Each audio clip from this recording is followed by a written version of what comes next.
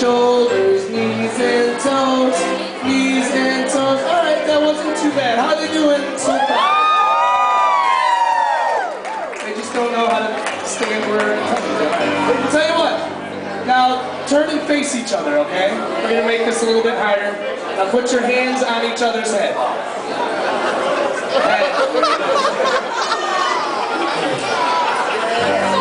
Okay, now this is gonna be funner because you get to touch each other. Head, shoulders, and toes. Get in there. Knees, get in toes.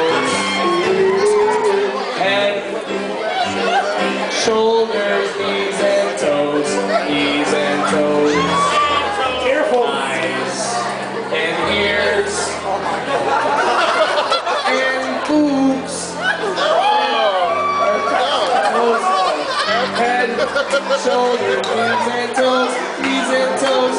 Oh, I got a little too fast for you. Why do you have these boobs on the floor? That's wrong. Hey, take it easy. Over here. You can stand up now. The toes are done. Tell you what. Tell you what.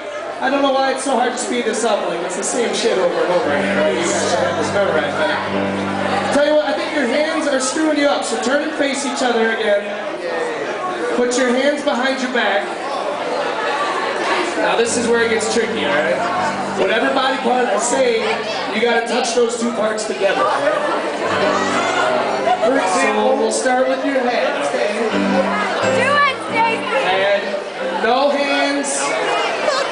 Head, there you go. Shoulders, knees and toes. Knees and toes.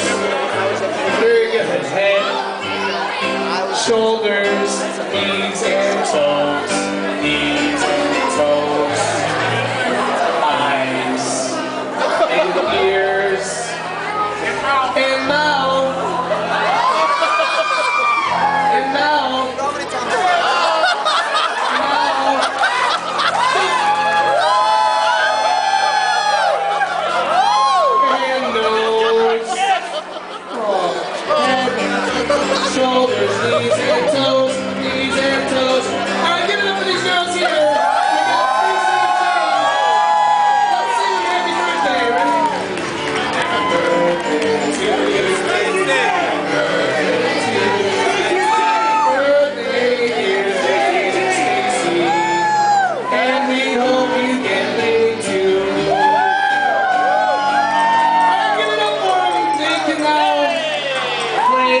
Preschool level. Congratulations.